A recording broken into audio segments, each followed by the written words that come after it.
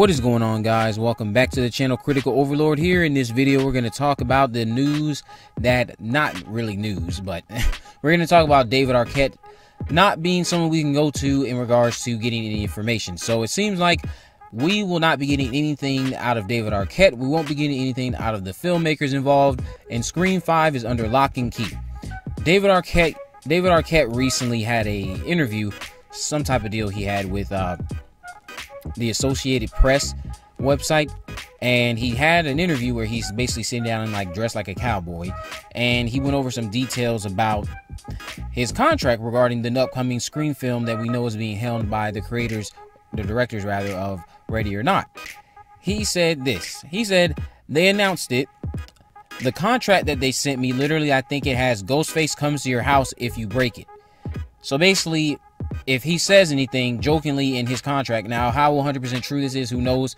He's saying that Ghostface, it says in his contract, Ghostface will kill him if he spills even once, even one, any teensy bit of possible spoilers for this project or anything even remotely sounding like hinting at what direction this movie is going because we still do not know if this is going to be a 100% sequel to Scream 4. We don't know if it's going to ignore certain films. We don't know if it's going to be a sequel to Scream from 1996. We have no idea where this is going. So the fact that he said that, and then he went on to say that it's an intense contract, so I'm not really sure what I'm allowed to say or talk about, but I'm really excited to be a part of it and really excited to get together with Kevin Williamson, who who has blessed it, and these incredible new filmmakers. So I don't know. I've got such a big mouth that I can't talk about anything. So it doesn't really sound like he can't say 100% anything about the project. He's uncertain of where he might cross the line and he's he not he doesn't want to cross that cross that bridge because of the fact that he knows he has a big mouth. So I don't think we're gonna get anything out of David Arquette, unfortunately. We all know he plays the role of Dewey Riley in the Scream movies. We won't be getting anything out of him.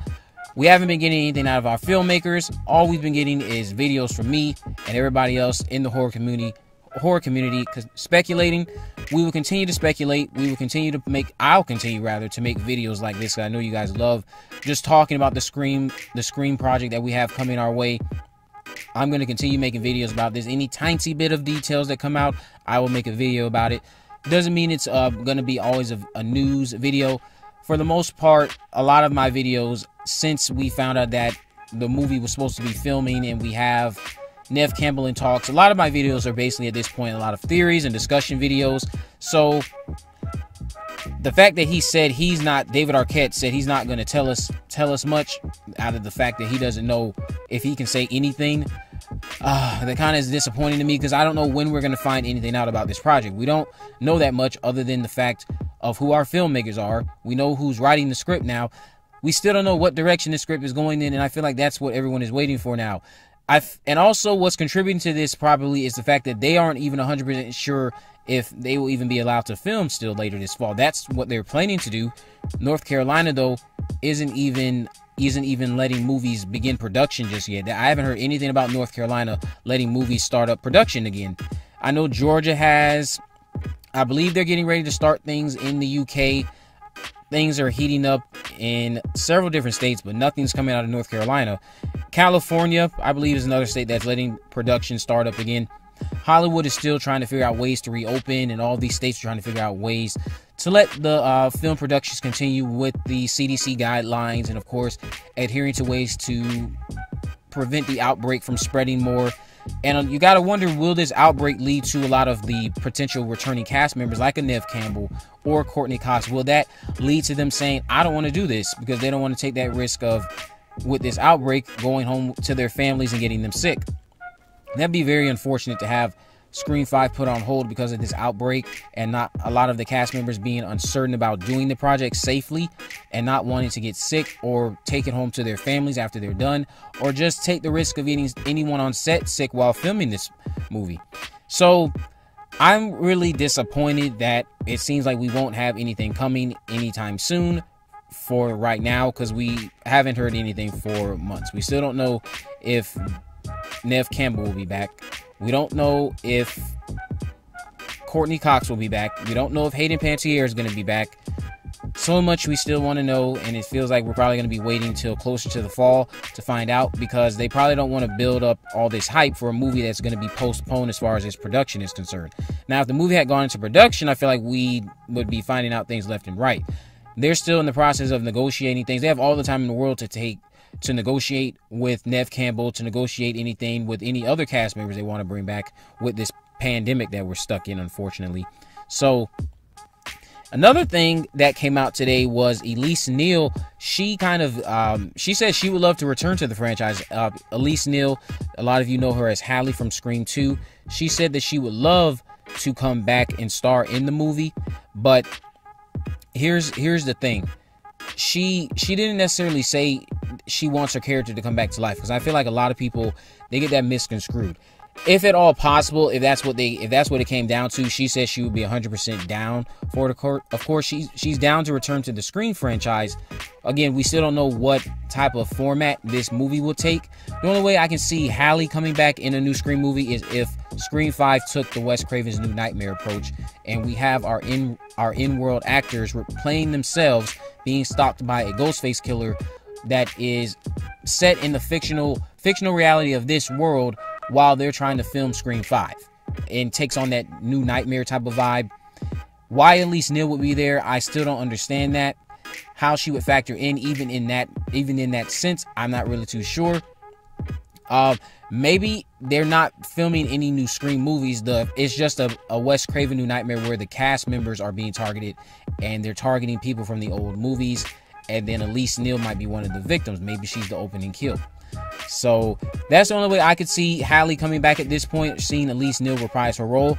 Of course, many people have said we're always talking about Stu coming back or hate or Kirby coming back. Hallie could possibly come back. Well, Hallie was pretty much lifeless when Ghostface let her go before she dropped to the floor. She was lifeless. Her corpse was not moving. Now, again, of course, that probably doesn't mean anything to a lot of people who want to hold out hope that somehow, some way, Hallie could come back. I've said it in plenty of videos in the past. Hallie shouldn't have died, or just one video. The character of Hallie shouldn't have died. I, I'm not. I'm getting real tired of Sidney's best friends being killed off. Sidney needs somebody there with her, besides just Dewey and Gale. Somebody who she can confide into outside of just Dewey and Gale. It would be nice to, of course, like I made mention of, build up some dynamics outside of just our our main trio of characters. So she basically had this to say. This is what Elise Neal said. She said, I mean, I'll be down. If I got the call, I'd be down. Absolutely loved the whole thing. Rest in peace to Wes Craven. He was such a great person, but you know, the fans of the Scream franchise have not died down, and I would probably, and I would absolutely love it.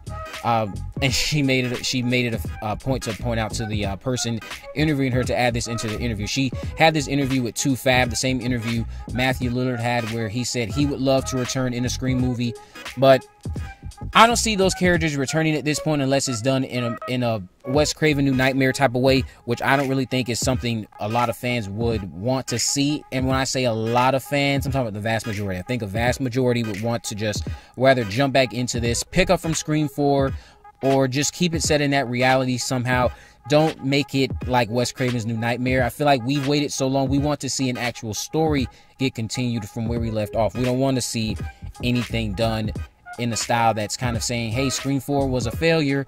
Uh, Scream 3 was a failure. Let's let's just do this and act like they never happened." I don't think a lot of fans want that, myself included.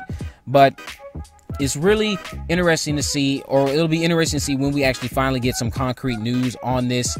David Arquette is basically his lips are locked. He threw away the key. He won't tell us anything. Uh, Still haven't heard anything about Courteney Cox. I believe today is her birthday, so happy birthday to her. Um, or unless it was yesterday, but I believe it's today. So happy birthday to her. Uh, well, possibly at the time of this recording, when I upload it, it'll be yesterday. but let me know what you guys think about all this down in the comment section below. If you haven't already, make sure you subscribe and turn on post notifications so that you never miss a video. In the description, i have links on my social media accounts. I'm Facebook, Twitter, and Instagram. You can message me there to let me know if there's any movies, news, or reviews you would like me to cover in the future. Um, and then, of course, down in the comment section, I'm going to have a link to the Facebook group. Join that Facebook group, please, if you want to stay up to date on anything regarding this franchise, anything regarding any other horror horror discussions, because you guys can join that group and talk amongst each other. It's a it's a group I made for this channel, so please join it. With all that in mind, guys, I will see you in the next video.